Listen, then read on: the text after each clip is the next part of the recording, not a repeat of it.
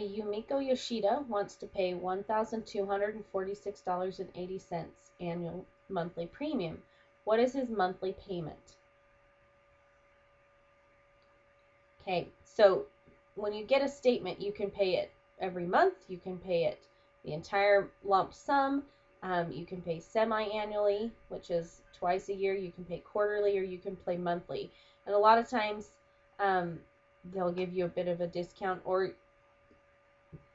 none at all. But the way we're going to calculate this is they want to know what his monthly premium would be. So we go to the chart and, and it says monthly premiums are 8.5% of the total.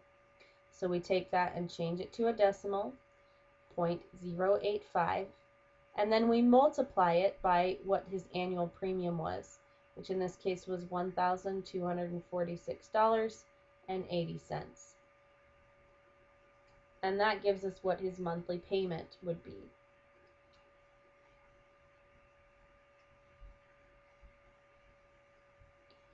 Okay, so if he pays monthly, he's going to pay $105.98.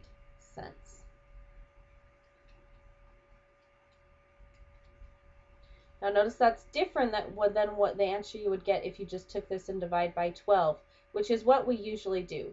But what happens is for convenience purposes for um, and things like that they will sometimes charge you a little bit more to pay monthly or quarterly or semi-annually rather than you just paying the full amount.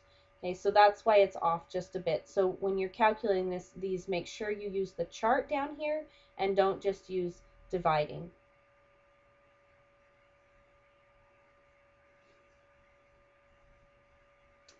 All right, Luis Huerta has a limited month payment insurance policy until age 65. His annual premium is $946. He wants to pay, the premium monthly, and the monthly premium is 8.4% of the annual premium. What is his monthly payment? So again, all we have to do, it says he's going to pay 8.4% if he pays monthly, so we just move the decimal two places to the left and then multiply by his annual premium.